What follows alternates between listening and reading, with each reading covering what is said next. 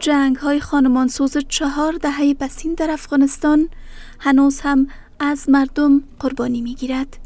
این گونه که کمیته صلیب سرخ آمار می دهد که از اثر مواد منفجر ناشده مختلف نو در شش ماه نخست سال جاری میلادی 320 تن مشمول 262 کودک کشته و یا زخمی شدند.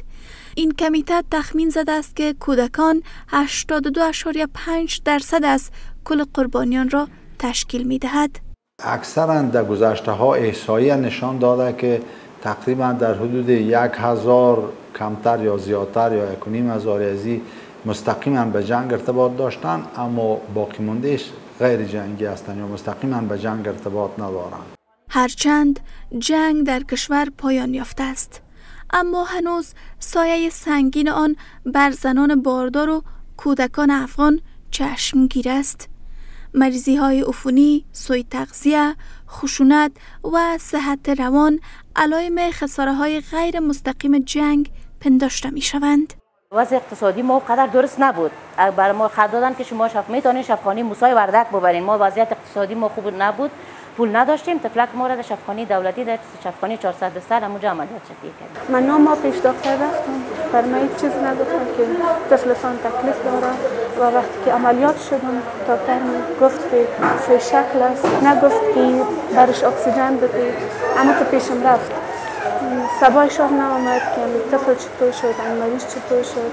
و تنها در تلفن برش گفتم به نسا که مریض خارج کنم اما برخ دیگر از معلولان که از اثر انفجار مواد باقی مانده از جنگ اعضای بدنشان را از دست دادند از دولت می‌خوان تا زمینی کار را برای آنان فراهم سازد.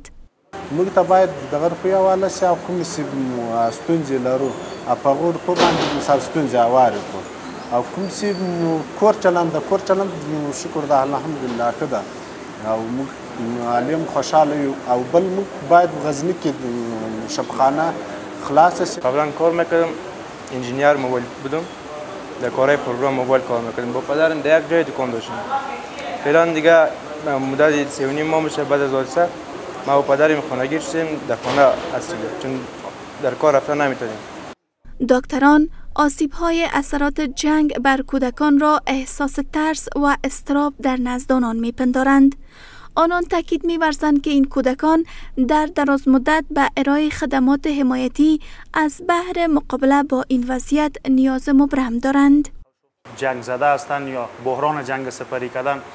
طبعا اوجا زیربنا از بین می رفته باشد. دسترسی مردم بسیار کم می باشه برای مراکز صحی خصوصا از زمین جنگ است که مراکز صحی هم متاثر میشن.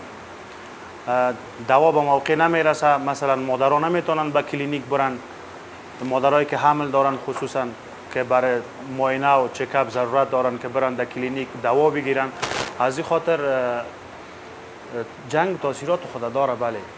بر بنیاد آمار کمیته صلیب سرخ در افغانستان در حال حاضر دست کم 200 هزار تن دارای محدودیت جسمی زیر پوشش برنامه های این نهاد بین المللی قرار دارند.